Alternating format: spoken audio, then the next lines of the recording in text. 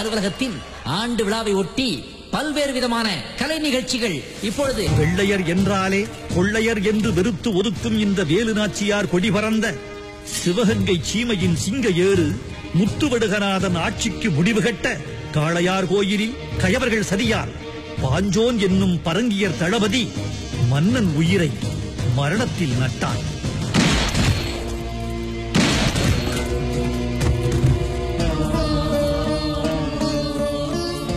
தலை சாய்ந்ததே என்று மகாராணி அழுது புலம்பி நிலை புலைந்து நெஞ்சம் தளராமல் நிமிர்ந்த நடை நேர்கொண்ட பார்வையுடன் புறப்பட்டாள் போர் முனைக்கு புல்லர்கட்கு பாடம் புகட்ட.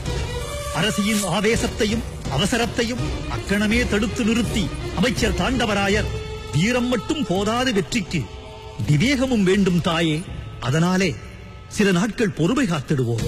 ஐதர் அலி அவர் மகன் திப்பு சுல்தான் இருவருமே ஆங்கிலேயரை எதிர்த்து அணிவகுப்பர் நம்மோடு. அதுவரையில் அமைதியே நமக்கு ஆயுதமாகட்டும் என்றார். அதனை ஏற்று அரசி வேலுநாச்சி அபயக்கரம் நீட்டிய திண்டுக்கல் விருப்பாட்சி கோபால நாயக்கர் மாளிகையில் தங்கிக் கொண்டு பழையபடி படைவீரர்க்கான பயிற்சி அளித்தார். பக்குவமான நேரம் இது. பரங்கியரை எதிர்ப்பதற்கென்று நாள் குறிக்க பஞ்சாங்கம் பார்த்திருந்த சிலம்பாசிரியன் வெற்றிவேலன் தேள் கொடுக்காகி பகைவருக்கு தோள் கொடுக்கும் துரோகியானான்.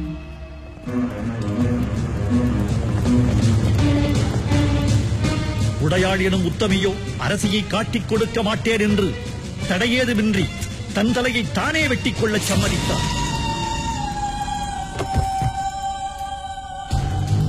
குயிலி எனும் ஆதிதிராவிட குலத்து கோதை தன்மானம் காத்து தமிழ்மானம் காத்திடவே தற்கொலை படைக்கு தலைவியாகி தணலில் வந்து வடிந்தாள். அந்த உடையாளின் பெயரில் மகளிர் படை அணிவகுப்பாகவும் குயிலி வாழ்க எனும் கோஷம் அப்படையின் முழக்கமாகவும் இடப்புறமும் பலப்புறமும் இணையில்லா வீரர்கள் மருது பாண்டியர்கள் எட்டு திசையும் விழி செலுத்தியவாறு புகைவிட்டு கிளம்பிய புலிகளென புகைவிட்டு குமுறும் என புறப்பட்டார் போர்முகம் நோக்கி. வேல் ஒரு கையில் வாழ் மறுகையில் என தோள் சுமந்த வீரத்தோடு வேளமொன்றில் அமர்ந்தவாறு வீரப்போர் புரிய வந்துவிட்டாள் வேலுநாச்சி. வைரவன் எனும் ஓர் கவிஞர் வெகுண்டெழுந்தார். நாடு குறித்து ஏடெடுத்து பாட்டெழுத நான் வரவில்லை. காடு கொள்ளும் என் உடலை உயிர என்றாலும் ஈடு கொடுத்து இரவா புகழ் எய்திடவே. வீடு துறந்து வந்துள்ளேன் என்று பீடு நடையுடனே பெரும்படையில் இணைந்து விட்டேன். கணவன் உயிர் பறித்த காளையார் கோயில் கோபுரம் கண்டவுடன் சிறுத்தெழுந்தாள் கற்பரசி கண்ணகி போல. வேலு நாச்சியார் வேலுக்கும் கை வாழுக்கும் வேலை கொடுக்கும் இடமும் நேரமும் இதோ வந்துவிட்டது. ஆம் வைரவராம் பெருங்கவிஞர் வழிமறித்து சொல்லுகின்றார் தாயே நீங்கள் சிவகங்கை கோட்டைக்குள் செல்வது நல்லதல்ல. அங்கே வரும் பகையை வெற்றி கொள்ள பெரும்படையை வைத்துள்ளான் வெள்ளைக்காரன். நொடிப்பொழுதில் நூற்றுக்கணக்கானோர் உயிர் கொண்டு செல்லும்.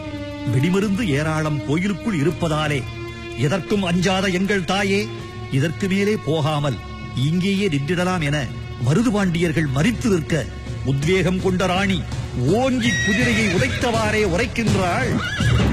வேலும் வாழும் உண்டாக்கிய இரத்தக் கடலில் பயங்கர மூச்சு விட்டுக் கொண்டு மிதந்து செல்லும் வீரர்களின் மண்டை ஓடுகளை முத்தமிட்டபடி பயணம் நடத்தும் முறிந்த எலும்பு துண்டுகளையும் அருந்த நரம்பு துகள்களையும் கண்டு முகம் சுளிக்காமல் முகாரி பாடாமல் முதுகு காட்டாமல் முன்னேறு நீ என்று முரசொலித்து எஞ்சிய வீரர்களை நெஞ்சுரம் கொள்ளச் செய்து எந்த நேரத்தில் எந்த பக்கம் இருந்து ஈட்டி பாயுமோ எதிரியின் கணை பாயுமோ என சாவு முகட்டிலே வினாடிகளை கணக்கு பார்ப்பதும் வீரர்களுக்கு அழகல்ல என்ற போர்க்களத்து அரிச்சுவடியை தவறையும் மறந்து விடாமல் மரணம் மாவீரர்களுக்கு தரப்படும் மலச்செண்டு மங்கையின் இதழை விட சுவையானது என்ற மனோபலத்தோடு படையை நடத்திச் செல்பவளே பராக்கிரமசாலி.